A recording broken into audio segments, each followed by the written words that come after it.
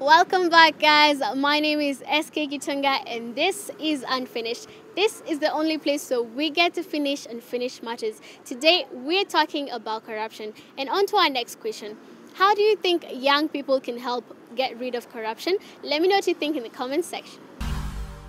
Eh, hiyo ni ngumu juu eh. Sasa unajua young people most of them hawa- hawako employed, unaona, so ni hata mkipinga hata the corrupt people itakuwa ngumu juu. Corruption ina, inazianga huko juu. Before ifike huku chini, unapata corruption inaanza huko juu then huku chini ni kiasi, ile pesa mob inakula huko juu. Kwa hivyo maybe tu wako wana advocate for a free corrupt country. Maybe tu hiyo laki, lakini unapata ni ngumu sana juu. Kama watu wako juu wanakula pesa, watu wa chini watazuiaje? Na watu wa juu ndio maybe wanatengeneza hizi sheria, hata watu wanaotengeneza sheria ama MP maybe ndio maybe unapata wanakula pia pesa mingi kwa za corruption, nao maybe ndio wana implement hizo laws. Sasa ni kumaanisha hata laws tukiimplement za anti corruption unapata itakuwa tu ngumu, alafu maybe unapata hata hata unapata kama kuna hii chama EACC ya anti corruption. Sasa kama washiki wale wakubwa wakubwa wanashika wale watu, wale watu wadogo wadogo, ni kumaanisha wale watu wakubwa si wanaendelea tu kuweka pesa kwa mfuko ama si hivyo? Uh, you just say no. If, it, if it's gonna take long, it's gonna take long. You know, if nobody, kama kuna mtu ata indulge in corruption, haita work, ita stop. You know, kama kuna mtu anatoa hongo, watu wata- wataacha kuuliza. Um, so niku sasa nikisema abstinence inakaa hii kitu ingine, lakini I think corruption kudeal nayo una abstain tu. young people wanafaa wanaweza start wanaweza anza kwa kui on their own level like kama we ni young person and you want to get something usikuwa part of the corruption. Una try as much as you can kuavoid usibribe. I think corruption inaanza from vitu ndogo ndogo tu. Hizo vitu ndogo ndogo tukiziavoid at least na unajua habit inakuwa built with time. Ukuwa used to kupeana kitu ndio upate kitu unaizoea hadi kuwa mkubwa. And then inafanya unakuwa lazy ukijua mi niko na pesa nta tapata kinataka. I think one wanaweza anza kwa kuwork hard. Unajua ili upate kitu yote lazima u, u put in the effort to achieve it. And then another thing ni ku create awareness about the effects of corruption kwa sisi like si unajua sisi kuna social media kuna so many ways tunaweza communicate with each other. Sisi i think youth huwa tuna influenciana sana. So katabia kakianza kati yetu ni rahisi ispread sa tukianza hiyo anti corruption hizo maralis zinaweza saidia Um, the last question. it's by teaching like by teaching them the importance of being genuine uh, and the side effects of the corruption yeah. labda huku kuwe kama China, ukipatwa ukiwa corrupt unapewa risasi zako huko, ama unauawa ama sijui kitu kaa hizo sasa. Lakini kama kusipokuwa hivyo, there is no way, sijui vile haiwezi kaacha. Corruption, haitawaiisha. Eh, labda kukuwe na serious. Watu wanateki wanatake hiyo kitu seriously. Yaani ukipatikana tu corrupt ama unafungwa miaka mingi. Eh, to treat people equally si eti huyu mtu ni maskini ama unaangalia mtu according to dressing style unasema huyu anafaa iliali huyu mwingine unamwona huyu vile ame- amefaa hata dressing yake huyu ana awezi awezi address watu kwenda huko mbele so we are supposed to treat people equally uongee. Ukiona mtu ameiba ama amefanya kitu, uongee. Inaweza kaa kaa ni mbaya, but in the long run itakusaidia kabisa, juu hili tu ufikirie kesho kuliko ufikirie leo, vile itakusaidia. like young people, we, we also have to ask ourselves how are we involved in the corruption as young people. Juu siku moja ukienda kukanje msee ukienda ukaje msee kesho, uwezi kuja kesho useme hautamkaje juu ulimkaja jana, si ndio? So as young people lazima tukatae tukatae mambo ya corruption. the young people should advise should be advised to fight corruption because they are the most affected. If they don't do that, then they will have no jobs because If money is not stolen, the factories will not be there. The farming sector will not have fertilizer to put into the input in the farms in order to have crops or what whatever, so that they can be sold in a market. Uh, the young people should be involved in corruption so that their livelihood is also uplifted. So if they, don't, if are not involved in the corruption, what the president was launching in uh, Bungoma, agribusiness, will not be there. So the young people must be involved in corruption. Yeah. And what the president uh, uh, launched in Bungoma was very uh, commendable to the public to show cause that young people can be involved in agribusiness. Very unfortunate, uh, the minister who was uh, in charge of that, uh, that uh, function, Linturi, Honorable Linturi, he gave a lot of disrespect to the president. He was in a casual suit, casual wear, and everybody was in a suit. And he went to take the photo. Oh, we really felt very bad. In fact, it was not good. Uh, let him next time style up and put very well, where there is a presidential function and he is the key person in that function. But to the president, that was very good. Congratulations. We hope that the agro business will uh, pick up and our young people will uh, get uh, jobs. Number one, I think corruption starts with you. Like when you, the, the fight against corruption, it starts with you. For example, um, I've had I've had people saying in the internet, at uh, social media, people call it corruption when it is not your turn, but when it, it's your turn, you call it grace, you call it God's hand. But I think people should um, people should have a stand that come what may, I won't give any bribe, I won't be corrupt in any way, I won't use, especially for the for the for our leaders and the people who are trusted with the public resources. I think they should have a stand. They should uh, be ethically upright. That come what may, I won't be corrupt in any way. Like this is my stand. This is my personality. Corruption is not part of me. Yeah, I think that is what young people should start doing by now. First of all, don't engage in it. It's not really good.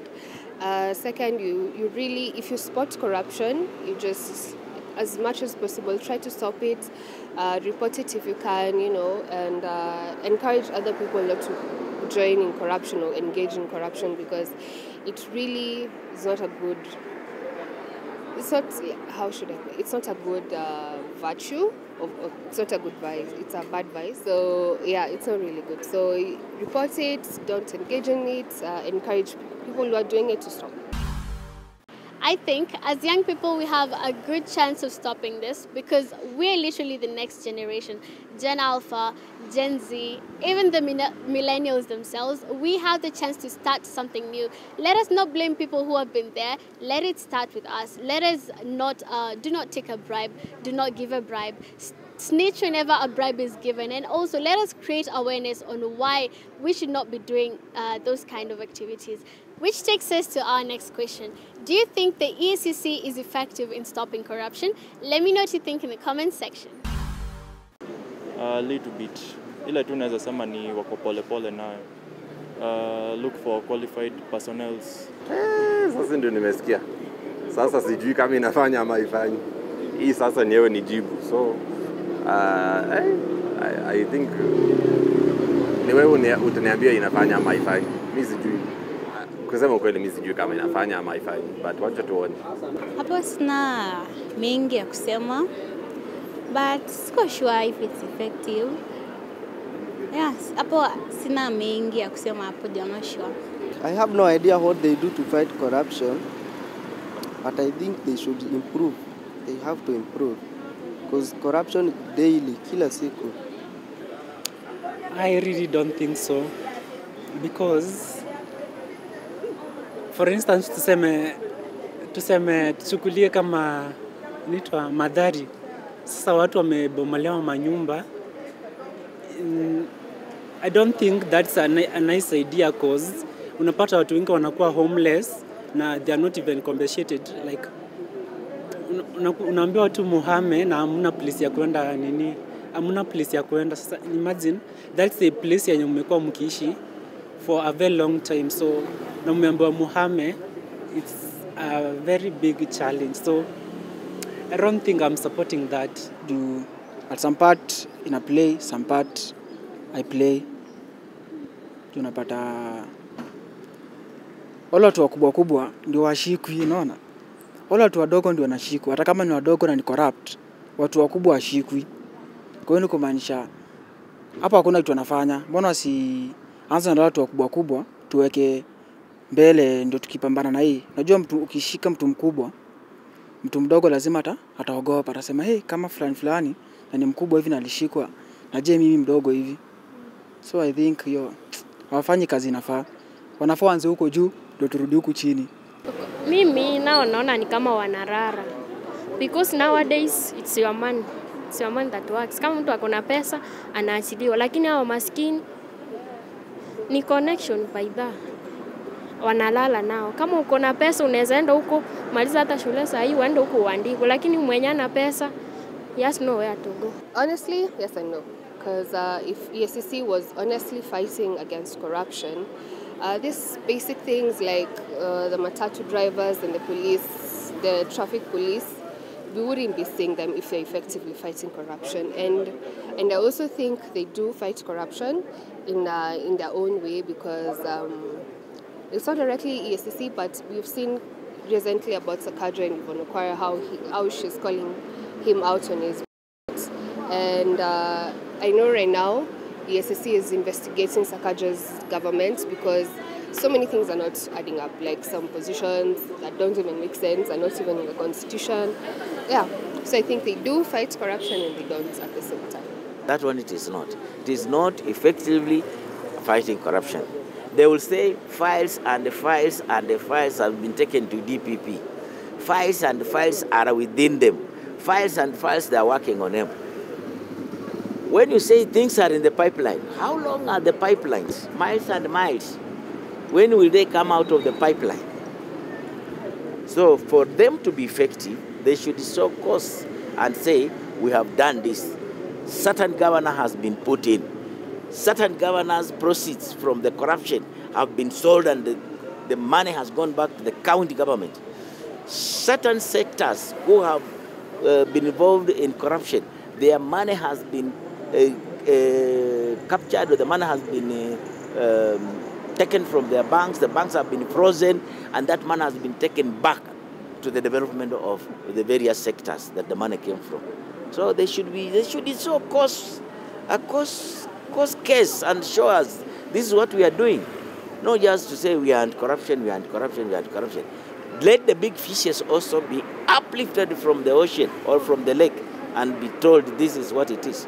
And let the public also see, that really this one has been done. Because there are, there are cases which are open that corruption has been corruption has been has been uh, carried here, corruption has been carried here, but nothing has been done. For me, I don't think KCC is fighting corruption because I've seen them uh, uh, arresting the, the, the, the traffic uh, police, but the, the corrupt, corruption starts at the, at the top of the pyramid. Like you cannot, uh, you cannot uh, arrest these small people. Start with the top. For example, you had governors stealing millions, 200 million. There was the KEMSA scandal, there was the NYS scandal, many other scandals which ACC hasn't looked at. For example, right now, um, the, the, the, the scandals in this city, the Nairobi uh, City Council, I think EACC should first work from the top. Yeah. So before before doing uh, and going to, to arrest these small small people down here, they should start at the top of the pyramid. So EACC is not uh, uh, doing what they're supposed to be doing. Yeah. So EACC has a long way to go because because of the of what they call deep state and all that. They can't fight. uh, They, they fear some people in the government. Uh, so what they, they, they have is the, the small wigs, like all these people who can't fight for themselves. But there are some people who are like corrupt, really corrupt. So that is, the SEC has a long way to go. Yeah, they are not doing what they are supposed to be doing.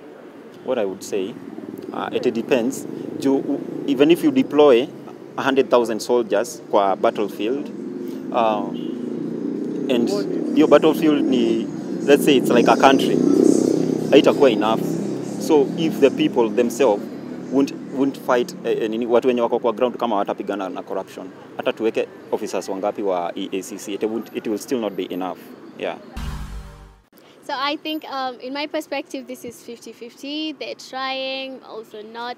Let's say um, it's a good thing when they say they're taking land back, but also they're not giving us the solutions that we need. We feel like there's still room for improvement, and they can do better. We have come to the end of the show. Thank you for watching. Thank you. Um, for everyone in the background, happy birthday to my producer Brenda. Thank you guys uh, so much. See you next time, guys.